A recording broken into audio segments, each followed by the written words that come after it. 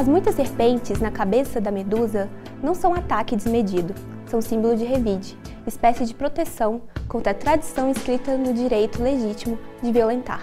Um corpo caído ainda é um corpo decapitado de mulher, dilacerado, invisível, base e construção do novo velho novo mundo. Seu erro, serpente mulher em fúria, é não aceitar ser sombra de um deus vil, controlador e mimado que comanda os mares, espreita ruas e bares, estações de metrô. Por renunciar ao claustro, te fizeram bruxa, monstro que devora almas, transformadas em pedras pelo fundo do olho que nunca dorme. A verdade, mulher impetuosa, enterrada em segredo com suas iguais, é a estátua da irmã Górgona, de presas cravadas no tempo, que o tempo já é incapaz de contar.